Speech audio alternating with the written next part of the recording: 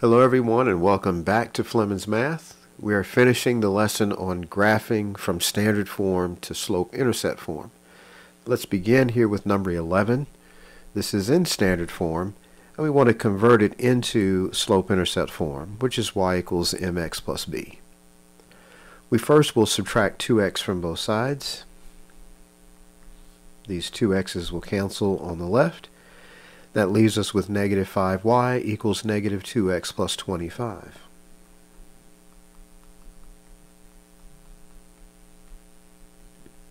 The next thing is to divide by negative 5 everywhere.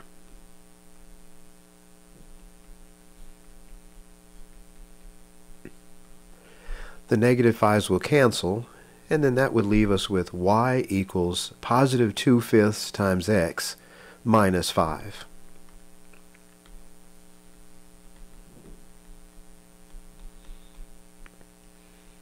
And that's because the 25 divided by negative 5 is just negative 5.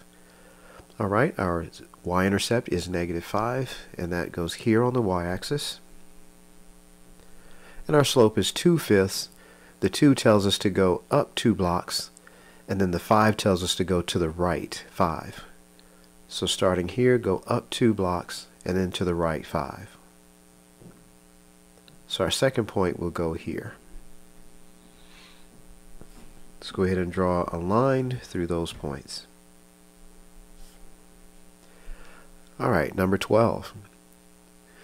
4x plus y equals negative 3, and we want to convert it into this slope-intercept form. Let's subtract 4x from both sides first. The 4x's cancel, so that leaves us with y equals negative 4x minus 3. Our y-intercept is negative 3. That would go here. And our slope is negative 4, which is actually negative 4 over 1. The negative 4 would tell us to go down 4 blocks, and then the 1 tells us to go to the right 1. So starting at negative 3, let's go down 4, 1, 2, 3, 4, and then to the right 1. So our next point would be actually here, just a little bit off the grid. If you want, you can go backwards to get an additional point over here. So we could go up four, one, two, three, four, and then to the left one, and that would bring us to this point. All right, let's go ahead and connect with a line. Here's number 13. Want to get it in the y equals mx plus b form. The first thing is to subtract 3x from both sides. Those three x's cancel, and that's going to leave us with 4y equals negative 3x minus 12.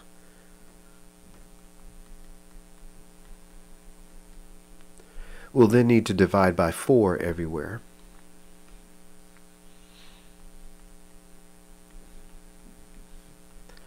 Those 4's would cancel, and now we have y equals negative 3 fourths times x minus 3.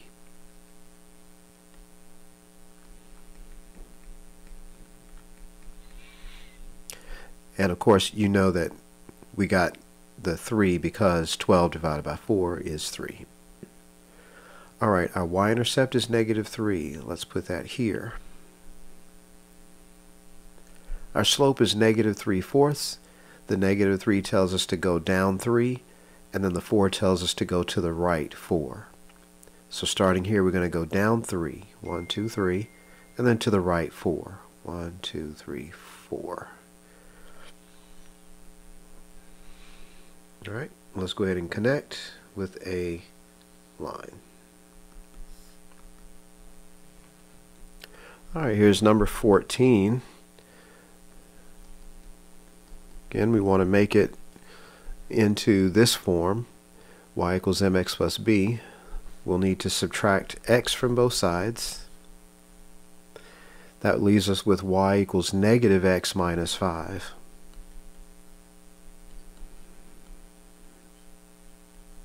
And I'm going to say negative 1x minus 5. And our slope then would be negative 1 over 1. and our y-intercept is negative 5. So our first point goes here on the y-axis at negative 5. Negative 1 over 1 tells us to go down 1 and then to the right 1. So starting at negative 5, go down 1 and to the right 1. And you can continue to do that again, down 1 and to the right 1 for an additional point. And you can connect.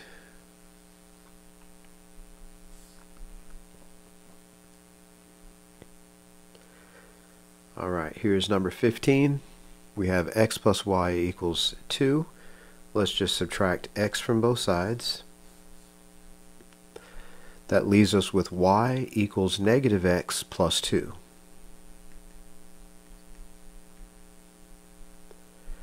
Now that negative is actually negative 1x, and then let's go ahead and put a 1 underneath that. So our y-intercept is 2 and our slope is negative 1 over 1. Let's go to positive 2 on the y-axis for our first point. To get another point, we will go down 1 and then to the right 1. Down 1 and to the right 1. Gives us another point. Down 1 and to the right 1 again.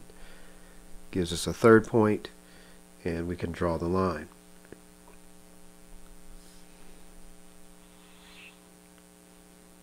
And here's number 15, number 16, sorry. We want to subtract 3x from both sides first. Those 3x's will cancel. And now we have 2y equals negative 3x minus 2.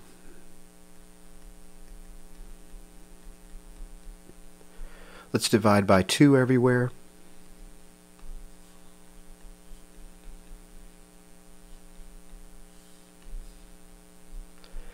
These twos will cancel each other.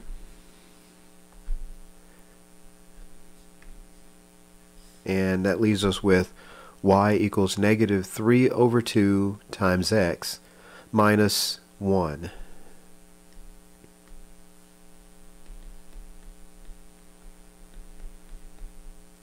And we know 2, 2 divided by 2 is 1. That's where that came from. All right, our y-intercept is negative 1. So that would go here on the y-axis. We'll use our slope, which is negative 3 over 2. The negative 3 will tell us to go down 3 blocks, 1, 2, 3. And then the 2 tells us to go to the right 2, 1, 2. And here's our next point. Let's go ahead and connect those lines, or connect those points with a line. All right. Here's number 17. Let's subtract 3x from both sides first. We have negative y equals negative 3x minus 4.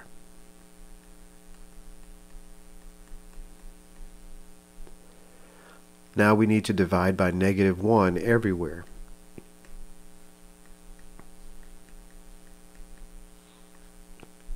Those negatives will cancel each other. That's going to leave us with y equals, see, negative 3 divided by negative 1. That's going to be positive 3, so positive 3x. And then negative 4 divided by negative 1 is positive 4. So that's going to be y equals 3x plus 4.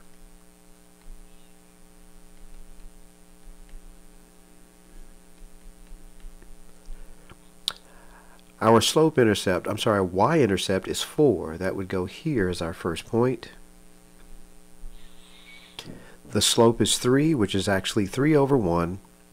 The 3 would tell us to go up 3, and then the 1 tells us to go to the right 1. So starting here, count up 3. 1, 2, 3. So we're just off the grid. And then go over to the right 1.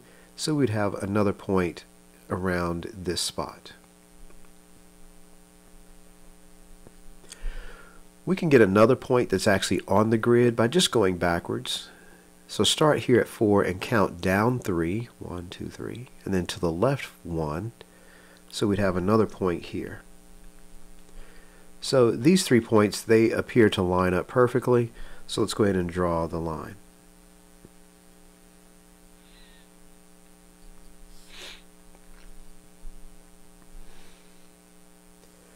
And our last question is number 18. Let's go ahead and subtract x from both sides first. Those x's cancel. Now we have negative 4y equals negative x minus 4.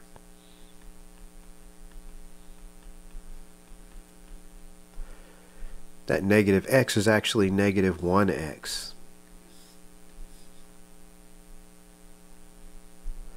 Let's go ahead and divide by negative 4 everywhere.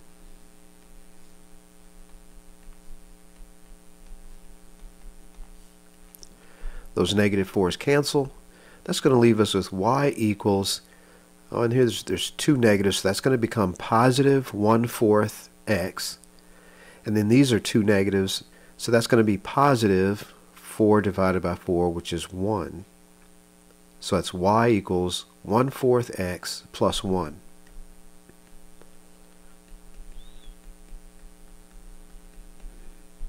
Our y-intercept is positive 1, which goes here on the y-axis.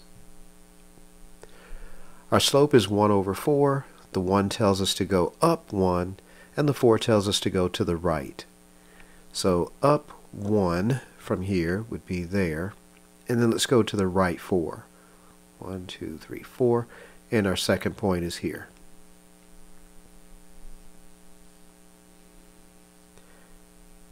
Let's go ahead and connect with a straight line. All right, and that concludes our assignment for day two, which is graphing from standard form to slope-intercept form.